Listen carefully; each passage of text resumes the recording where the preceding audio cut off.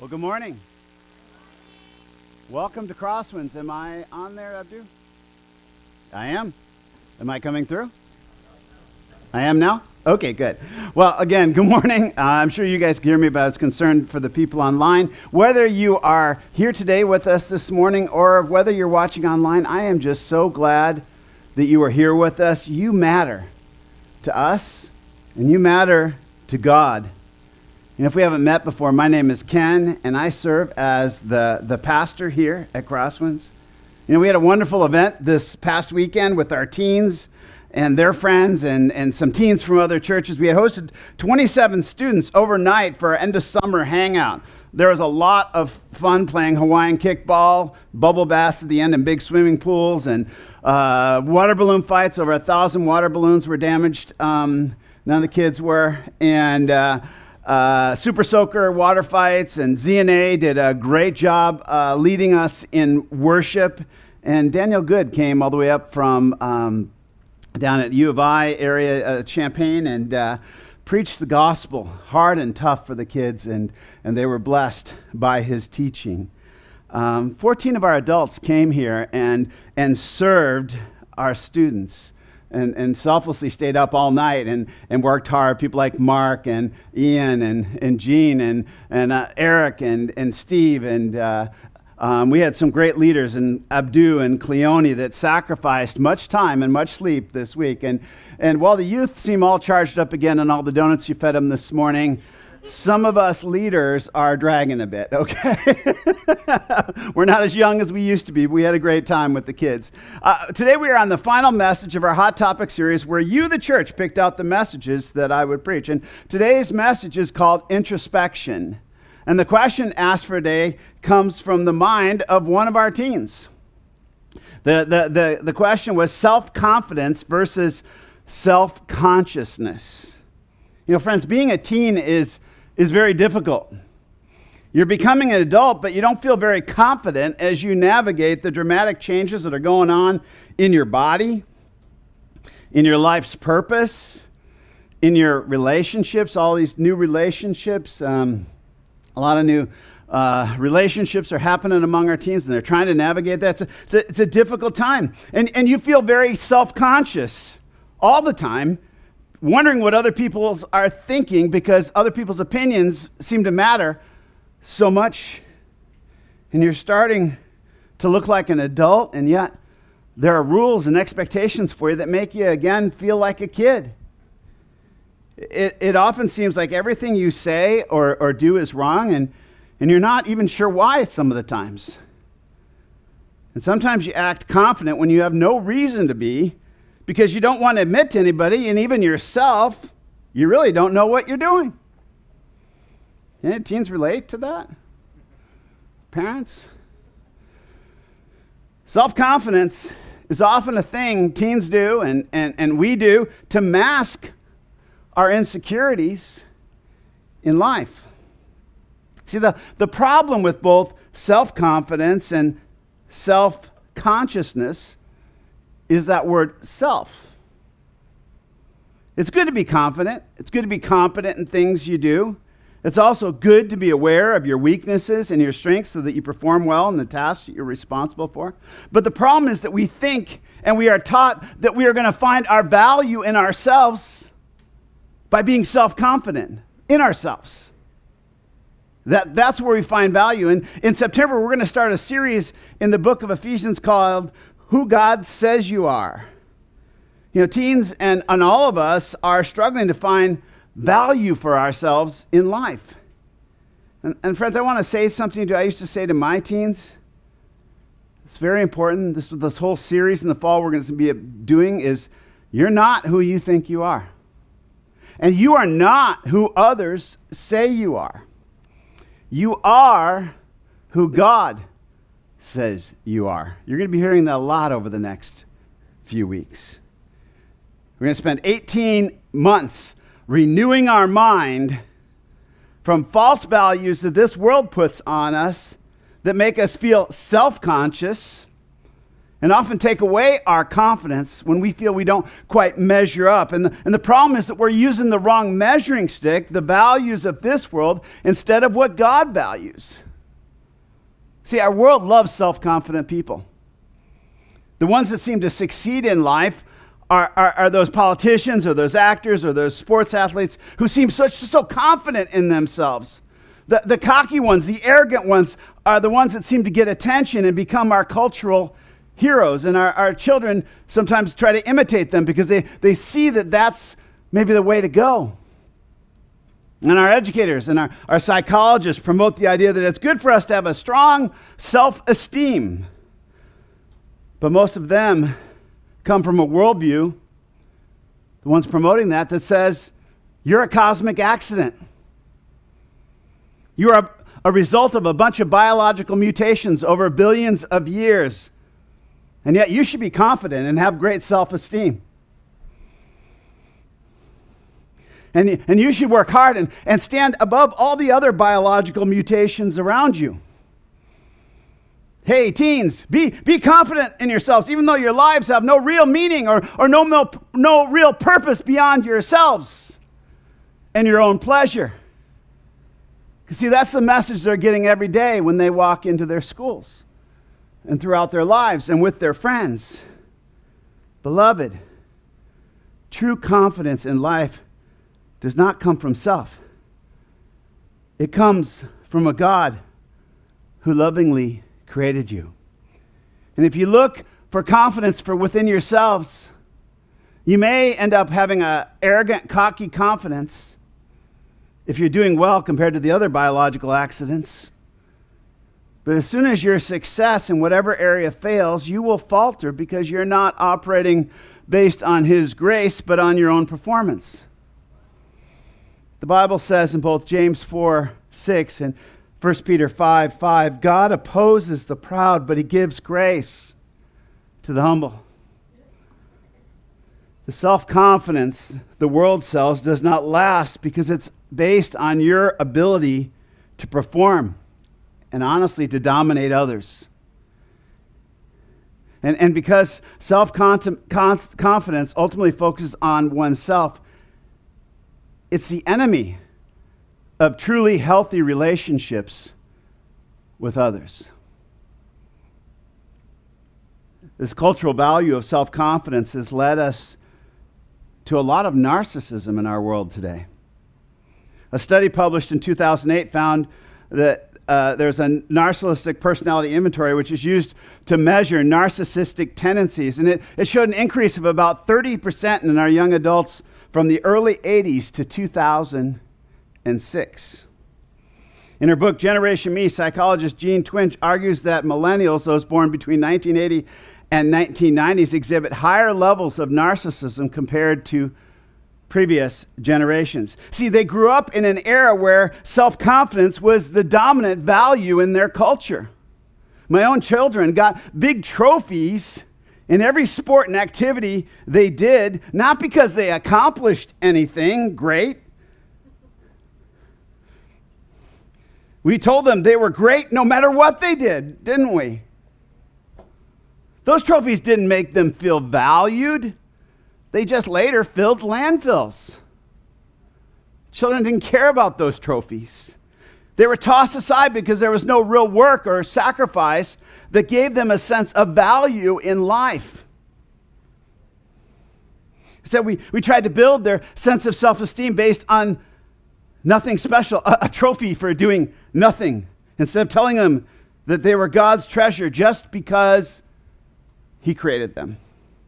You know, surveys of, of college students have shown a decline in empathy and an increase in self reported narcissistic traits over the past few decades. A study from 2010 found that American college students in 2009 were 40% less empathetic than their counterparts. Is that where a focus on self confidence and self esteem lead us? The current Gen Z generation is the most unchurched generation. They are self confident. They're also one of the most confident generations, but they're very lost. 80 million have no relationship to God at all. And God is the one that brings us true confidence. But as a culture, we have, we've tried to build their self confidence through self, not through God. The modern Western approach is looking within to find our identity and our purpose. People are encouraged to explore their inner feelings and desires and passions to define who they are. And, and this is reflected in cultural mantras like be true to yourself, follow your heart, be you. Here's the problem the Bible says the heart is deceitful above all things and is desperately sick.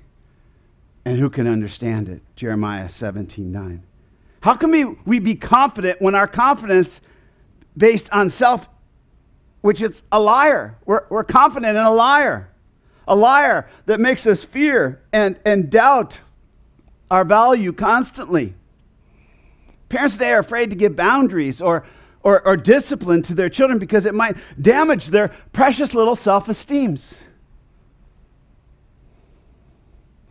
And they wonder why their child becomes unproductive or, or selfish or not kind to other or rejects them.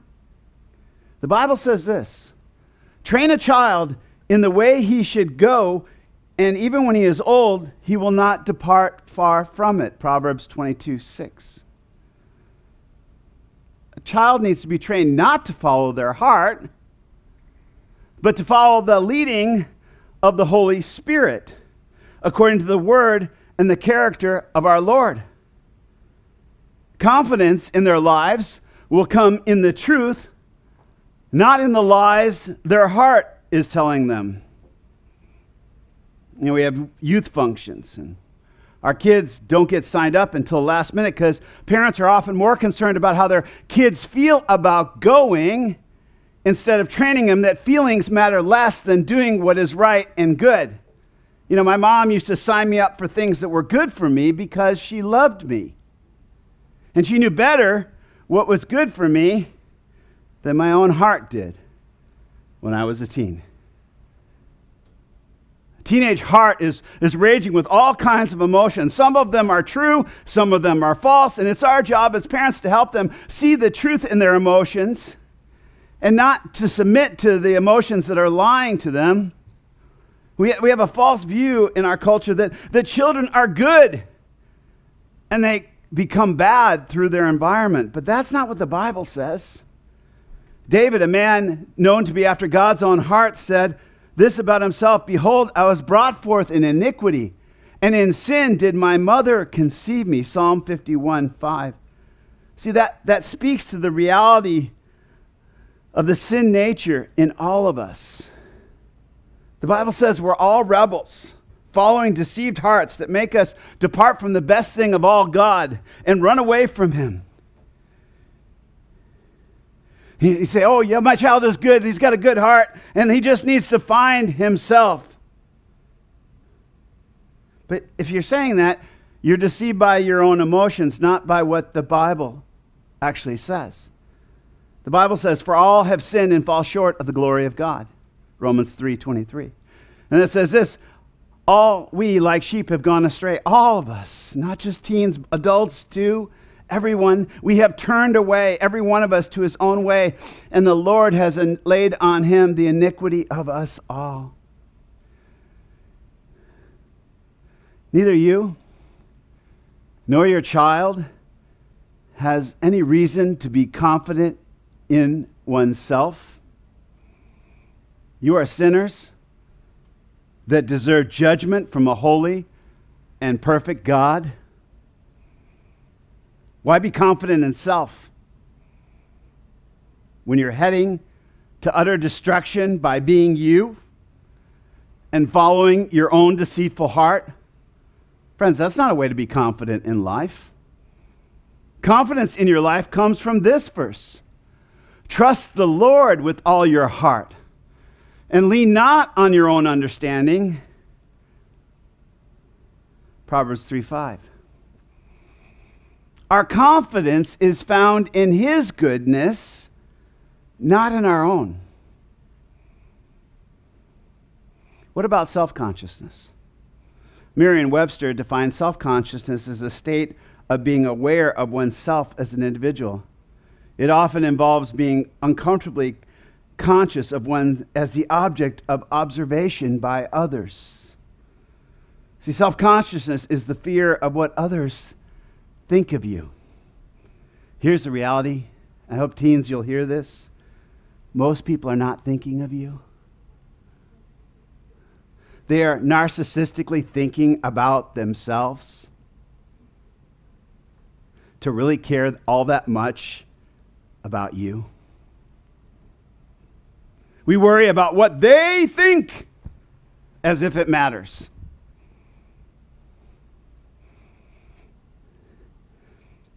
They are a mist here for a minute. They, whoever they are. Eternally, we should be more concerned about what an eternal God thinks of us. The Bible says this the fear of man lays a snare, but whoever trusts in the Lord is safe. Proverbs 29 25. The fear of man lays a trap, friends. But whoever trusts in the Lord is safe.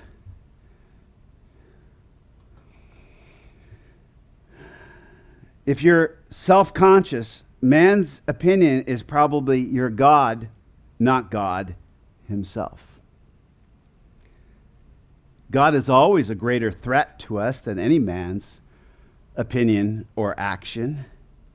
You want to understand yourself? Do not fear the perception of man or even yourself. The Bible says the fear of the Lord is the beginning of wisdom, and knowledge of the Holy One is insight. We fear ourselves or our kids not being confident because of our cultural values. But we really should fear the one who can kill and can make alive. Jesus says, And do not fear, those who kill the body, but cannot kill the soul. Rather, fear him who can destroy both soul and body in hell. If you're not being his witness because you are not self confident enough, will that be an excuse for worshiping the wrong God? The people's opinion of you? Isn't God's opinion what's more important? I personally grew up with a strong value of self confidence. My father was a psychologist, and you know, my parents did good to try to make me confident. And at one point, I was very cocky and successful in the eyes of the world, but nothing was working in my life. My marriage was failing, my finances were in shambles because of my arrogant decisions with my money. And I was constantly fearful of God's judgment because I was constantly making decisions that I knew he didn't approve of morally. To the world, I was a, a confident guy. I used to actually have a word for it. I called it blind confidence. I, w- I was successful at some things because I did not let fear rule me because I believed I could overcome anything with myself with enough effort. But things were a mess and I started to realize there was just not enough time left in my life or effort that could fix the broken mess I confidently landed myself in. Then I met some true followers of Jesus. And immediately I noticed they had something different than I had. They had something called a quiet confidence. Man, it was something I, I just did not have. My confidence wasn't quiet, it was messy. Kathy's laughing, she knows. But they had peace. They had peace. No matter what the circumstances of their lives, they were confident in something that was not about themselves. Their, their confidence came from a God who loved them and promised good to them. It, it, it, seemed unshakable, while my confidence was like a house of cards, and the next wind was going to blow it down. And one day, I put my trust in God's love for me. As proved in his Son, Jesus Christ. And friends, now I am truly confident. No matter what the storm, no matter what others think of me, because my confidence is not based on me or on myself. The fear of man sometimes, honestly, can still trouble me. But ultimately, in my heart, I fear God more. The Apostle Paul said, If God is for us, who can be against us? And, and while self consciousness is, is not good, self awareness is important.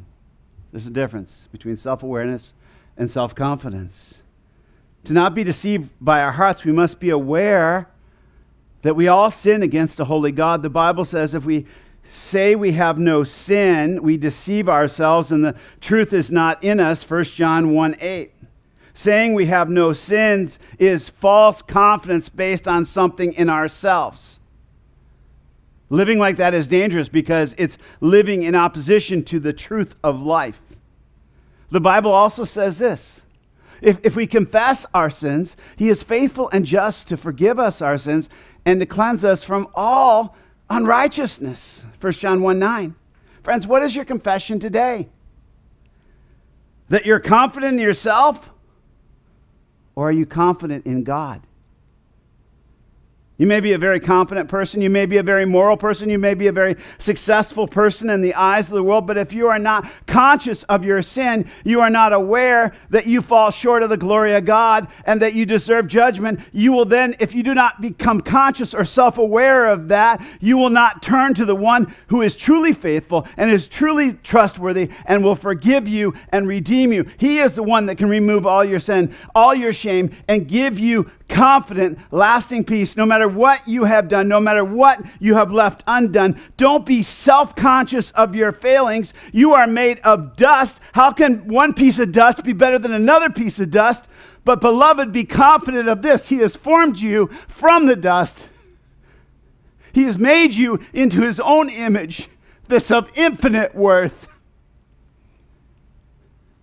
Friends, self confidence is not what makes us love. It's the enemy of love. I'll close with some of the Apostle Paul's he, words. He wrote this in 2 Philippians 3 Do nothing out of selfish ambition or conceit, conceit, but in humility count others more significant than yourself. Does, does that sound like the goal of life is self confidence? Your life is not about what you want, friends. It's not about what your kids want. It's about giving others what they want love and respect. It's not you be you and damn the rest of the other mutations that are not bright as shiny as me and expressing themselves the way I want to express myself. It's about loving all He created out of the dust. Paul says, Let each of you look not only to his own interest, but also to the interest of others. Philippians 2 4. We live for our own interests. And, and when we're not confident in ourselves, we constantly need to have to build ourselves up and that's in opposition to building up others. The battle is not to have a mind that is self confident because we are so great. The battle is to have a mind that knows how great He is and that it is His greatness that ultimately makes us confident. Jesus said, Have this mind among yourselves, which is in Christ Jesus.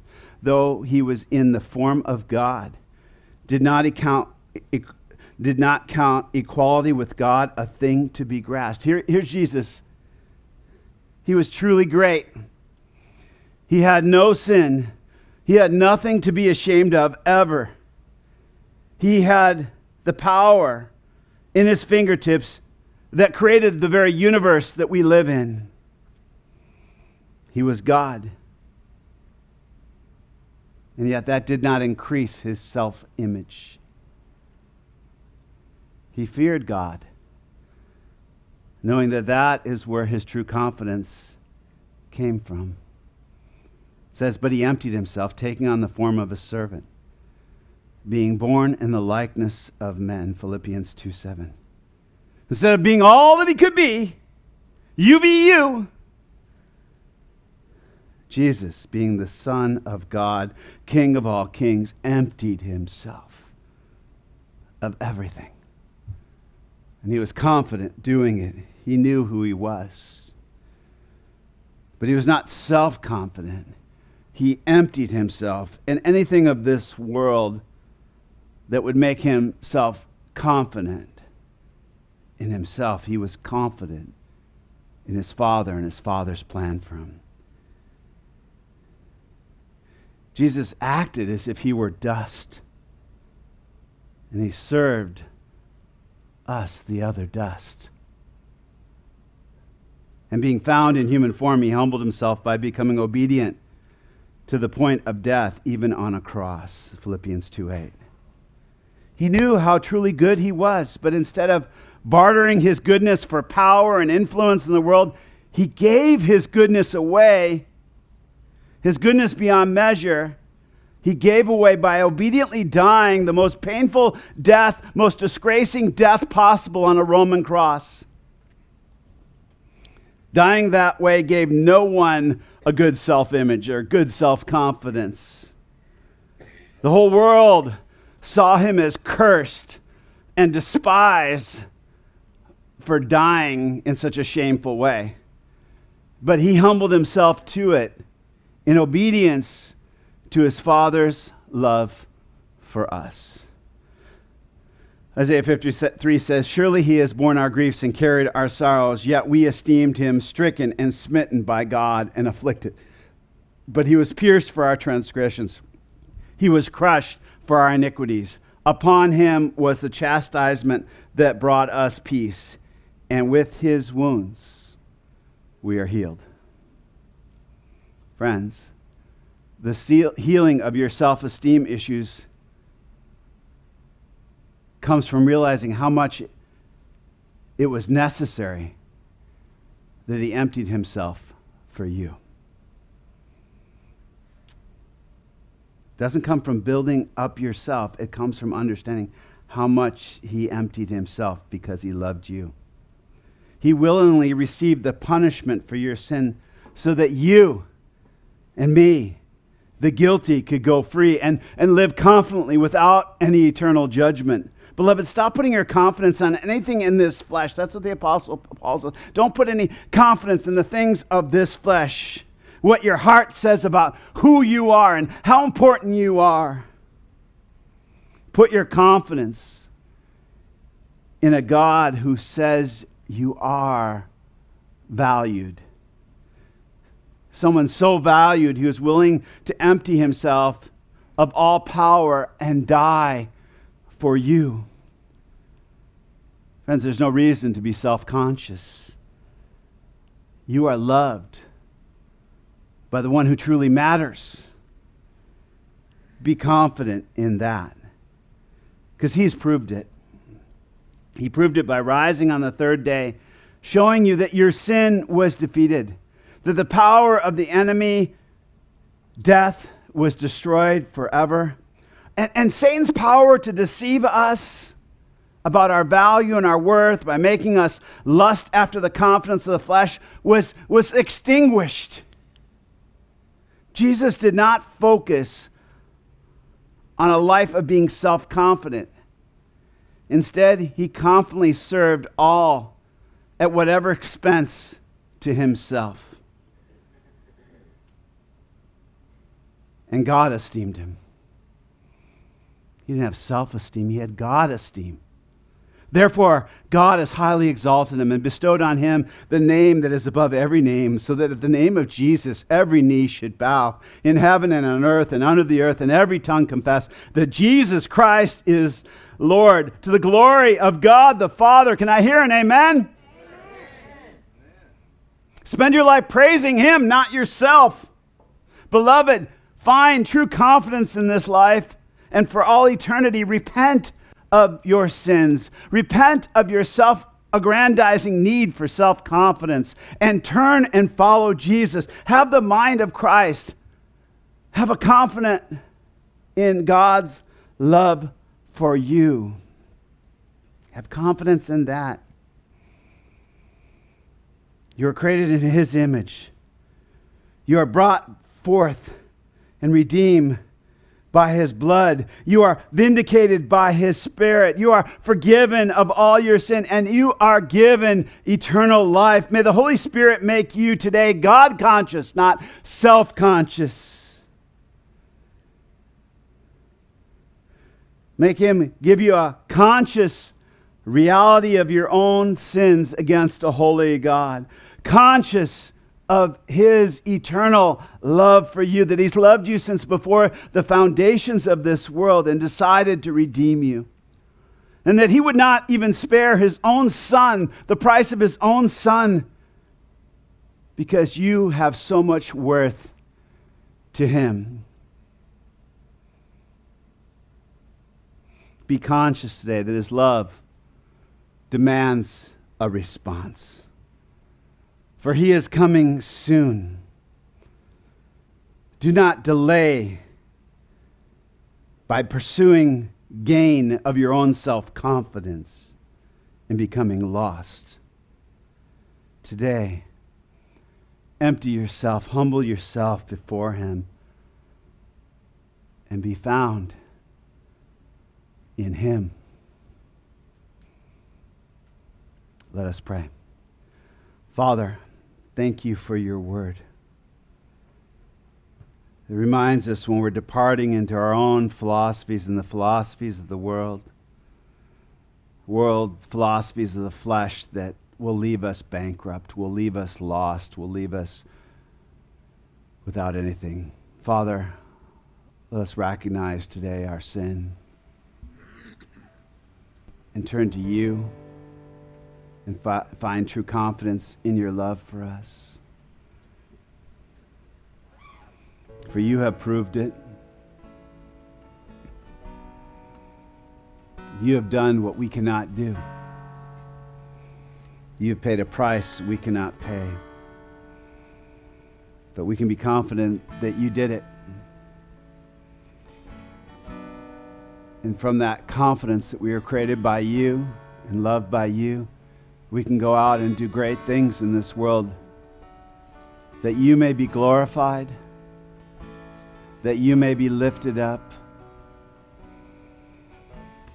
Lord, build up the parents of this church, build up the people of this church, build up the youth of our church to focus their hearts on you. Father, if there's anybody here today needs to repent, let them come to you right now and admit their sin. Let them be convicted of how good and loving you are to redeem them from it. And Father, let them turn and follow you. And if they choose to do that, Lord says the angels of heaven are rejoicing. Oh, Father, may you rejoice greatly today in your children following your ways. I pray this in the name of Jesus. Amen.